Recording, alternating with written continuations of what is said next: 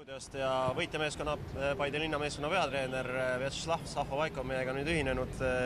no räägi, raske mäng, väga kohati selline frustreeriv mäng kindlasti. kokkuvõttes kolm punkti käes, jääd rahule?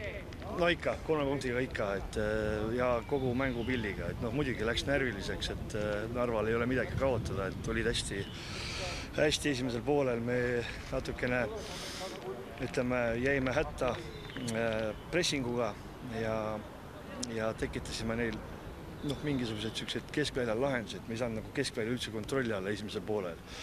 teisel, teisel poolel muutsime natukene ülesandeid mängijatel ja, ja teisel poolel juba saime selle kontrolli enda kätte, et, et tekkisid ka head momendid värava löömiseks. millised need korrektuurid olid täpsemalt mängijate siis ülesannete muutmisel? meil oli vaja mäng tuua ähm, nende nõrgemasse poolde. Seda me tegime. ja see õnnestus? see õnnestus jah, täpselt nii.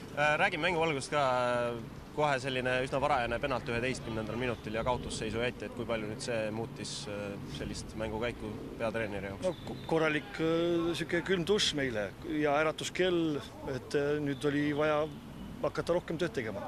et ma arvan, et eks, eks mõlemale meeskonnale ilmastikuolud on, on rasked, et, et, et meie kliimas sellise kuumusega on natuke raske toime tulla, aga, aga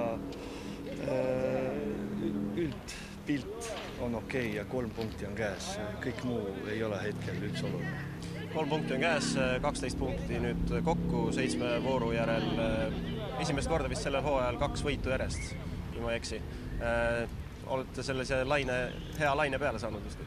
ma loodan Vjatšeslav Sahhovaiko, palju õnne võidu puhul ja kõike head!